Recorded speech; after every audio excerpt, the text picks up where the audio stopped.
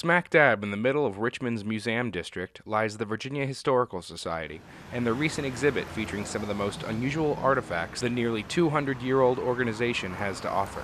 Featuring everything from archaic medical apparatuses to scabs, Bizarre Bits, Oddities from the Collection contains items from deep within the walls of the Society's massive collections. William Rossman, lead curator for the exhibit, spoke about the creation of the oddities display and said that the time span of collection and lots of cross department teamwork made it easy to create such a display. It's a way to highlight our collections in, in, in an odd way.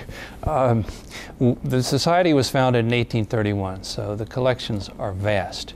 Um, we have some 7 million manuscripts, um, 160,000 books, 200,000 photographs, 5,000 maps, 700 paintings, 15,000 museum objects. So with that quantity collected over a long period, almost 200 years, inevitably there are going to be some things that are strange.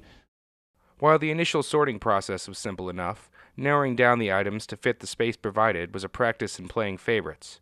Though Jennifer Guild, media relations specialist for the VAHS, said the exhibit could have many more incarnations. We started putting together ideas for this Bizarre Bits exhibit. We pooled ideas from staff here at the Historical Society, and we came up with over 100 items that could potentially be featured in this exhibit. Weird, strange, unusual, bizarre, all kinds of different exhibits items. So when we had to pare it down and pick the items that were actually going to be in the exhibit, it turned out to be about 45 items that we could actually display in the space that we have. So potentially this exhibit could be put up again and again with all of those items that weren't included in the original exhibit. The other obstacle was defining oddities, but Rossman followed the OED and used the broad term to fit many different possibilities. Uh, things are odd in the way we think of them today, if they're grotesque or strange looking or fantastic.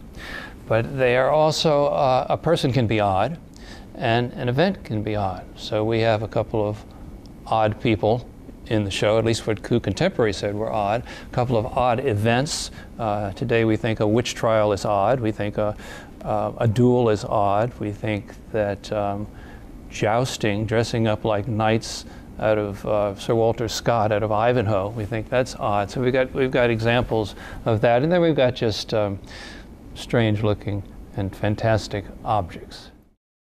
Another peculiar item to grace the exhibit would seem better fit in a medical museum than the VAHS, but it ended up in their archives nonetheless. It was a, a smallpox scab taken from an infant, sent by one member of the Massey family to another uh, in the late 19th century. These uh, pus-filled blisters would cover the entire body. Um, and something like a third of all the blindnesses in Europe at that time were caused by, by smallpox. But, it, but there was uh, a cure for it, and you could be uh, inoculated by using a, a, scab, introducing that, that scab into the bloodstream, uh, a scab from someone who's already survived it. And so it was sent by one member of the family to another. But people were scared to death. I mean, even when we talk about it today, it's, it's, it, it doesn't sound intuitive that these things would work. So people were reluctant to, to use these uh, methods to prevent um, smallpox. But there we have it. The, the scab has been saved with the letter uh, that it came with.